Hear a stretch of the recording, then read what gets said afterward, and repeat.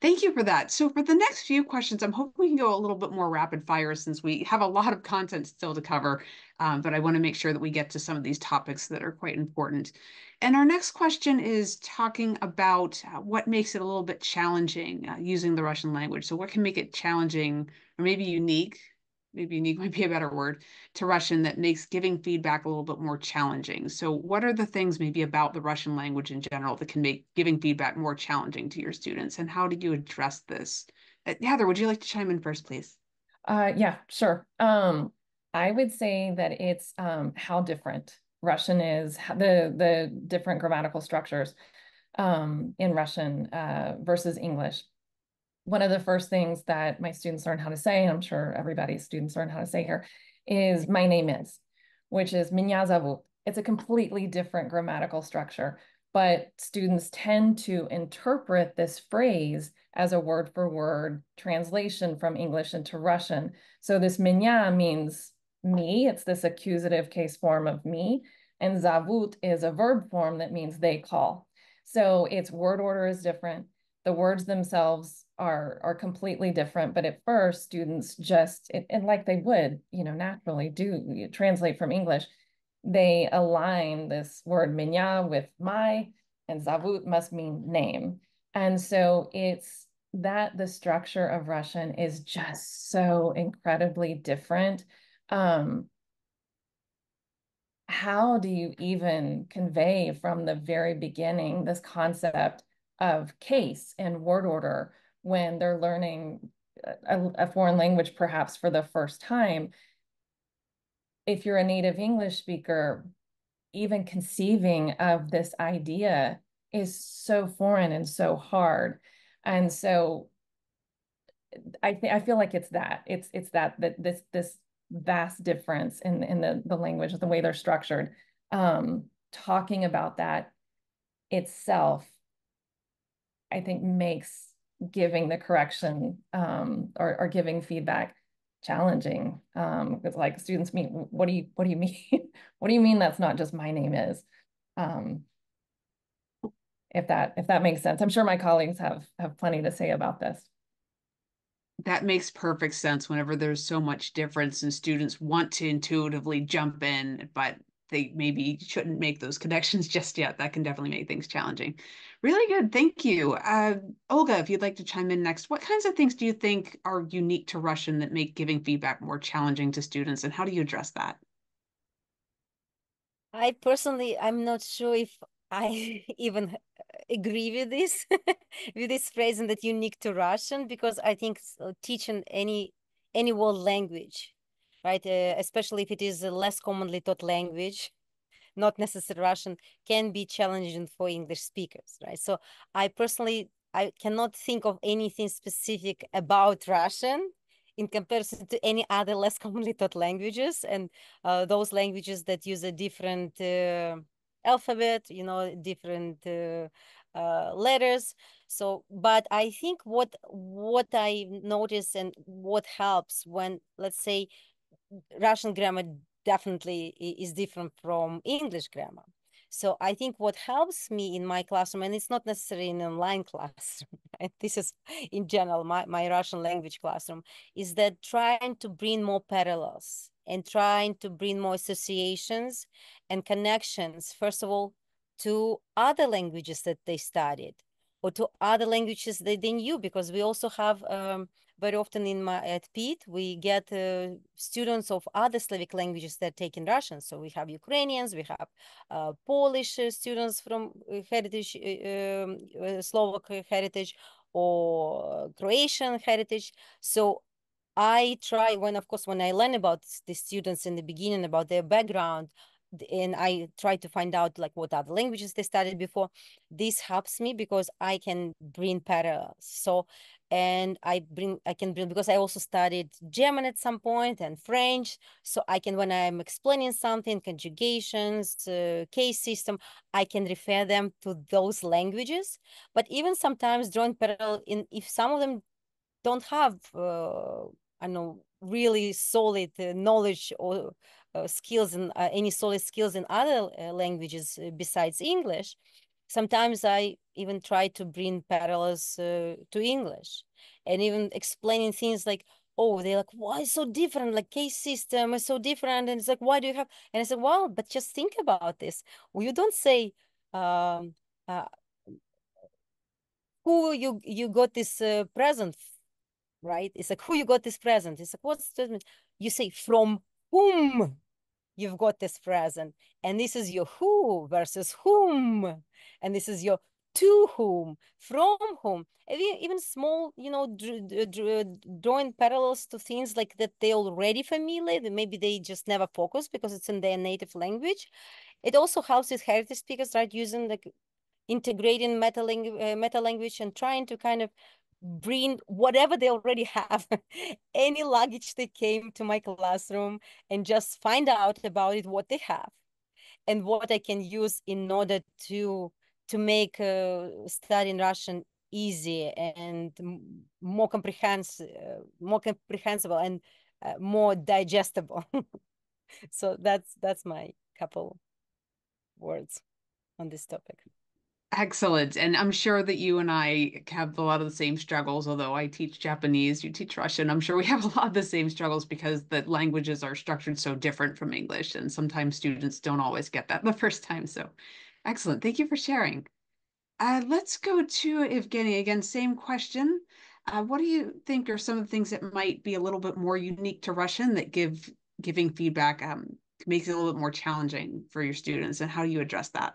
Sure. Uh, a quick answer. I think you know the fact that Russian has endings and and that coupled with imperfect technology and the fact that I cannot always hear well what my students are saying and sometimes they're saying things correctly but i'm mishearing them and not hearing you know uh, exactly what they're saying through zoom uh, whether it's because their connection is bad or my connection is bad. I think that's that's a challenge because you know are we sure we uh, you know we're correcting what needs to be corrected or it's just uh, the audio problem. I think that's that's that's the challenge. And you know going back to phonetics, I think because because Russian has different uh, sounds uh, sound system and there are a lot of words, a lot of sounds that are unique to Russian. Uh, and intonation patterns that that needs to be uh, uh, addressed. Um, so that that's and uh, again, like we were saying, technology is not perfect these days. So uh, working on that is is a challenge. Giving feedback and correcting the sounds um, makes it difficult to do online. That can definitely be challenging, especially whenever there are audio glitches. That can definitely be hard for any language. Definitely, I agree. And then Larisa, same question. Uh, what kinds of things are maybe a little bit more unique to Russian that can make giving feedback challenging and how do you overcome that? Yes, and here too, I will say there's a two like major um, challenges is one is uh, like everybody said and Heather and Olga and Evgeny, uh, yes, it's a very different grammar. Um, and it's hard sometimes to explain. Some students really want to have a translation, like tell me how it's in English. And there's not everything you can actually tell how it is in English. It's just not possible to translate. So you just have to kind of explain with words, but there is no equivalent of, you know, the difference of some things.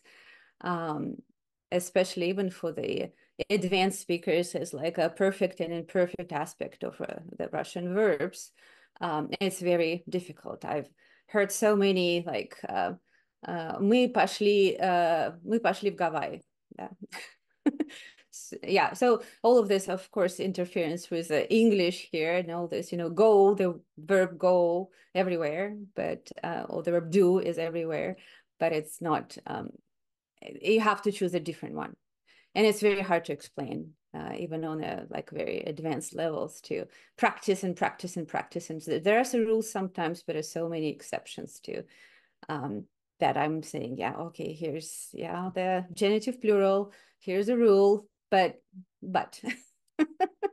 um, not even native speakers sometimes use it correctly. So we have to be, um, yeah, careful with, with that. Um, another thing is that uh, unique to the heritage speakers, I think, is they come from different families and they learn Russian. The first Russian was from their families and community groups. Um, very often their parents themselves immigrated to United States as, in, as children. So they were not educated in America, uh, I mean, in Russia, I'm sorry. And um, their language is kind of a mix of everything, of different dialects. So uh, the most common is um, English and Russian and Ukrainian, because in a community, these languages are kind of intermixed. Uh, and then uh, in the community, everybody's speaking this kind of a pidgin variation uh, and understand each other. Uh, and when they come to the classroom and I have to provide them feedback that this is not the right form, you can't say that this is not correct. So I think this is very emotional and I learned that you have to be very, very careful how you provide the feedback. Um, I have this, um, as a linguist, of course, I believe that all the different forms of languages are valid. Uh, if we can communicate, you know, there's a group of people understand it, every each other. So this this is a good uh, good example of uh, this dialect, and you know, translanguaging. It's a beautiful form of kind of a stepping stone to uh, toward bilingualism um, and it's accepted. Uh, you know, it's not. I don't have to be very strict about this. It's like a stepping stone. But I think it's essential for us to teach students a standardized form of a language so they can communicate um, effectively outside of their small community groups and use language professionally.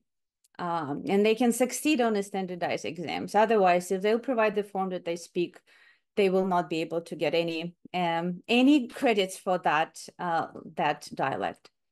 So I use this analogies, analogies um, to sports or music. I would say, for instance, there is a different. We can okay, you can say I can swim, right? I can swim in a um, in a lake with my friends, and it, it's fun.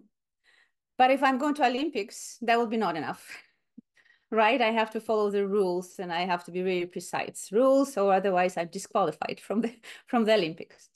Uh, always the music too. A lot of people can, you know, play piano, guitar casually at the gathering. Um, we have fun. We play. It's um, it's great. But then, if we enter some kind of the um, competition, or if we go to concert, right, we judged on how well you can use the rules. So I found this analogy works um, when we speak about the standard, the Russian, and the one is a mix with the different dialects. Um, so like first, again, setting up the uh, norms and when I provide a feedback and why I do that. It's not because, you know, my language is better than yours um, or I'm not a st stuck up the um, you know academic ladies just because I care about you and we want to know the standard form.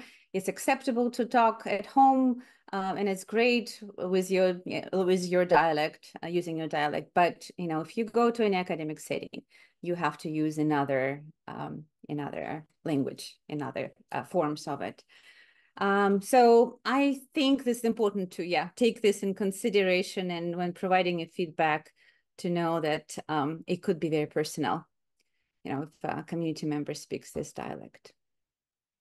That is a really good point, Larisa. And I love the analogies you're giving about swimming in the lake versus the Olympics or playing guitar at home versus, say, going to piano recital. It's a really good analogy. And it shows that you're acknowledging the skills that your students have. But at the same time, I care about you. I want you to advance the level of proficiency. And if you needed to use the say in academic or business setting, you would know how to proceed. Beautiful analogy. Thank you so much for sharing that.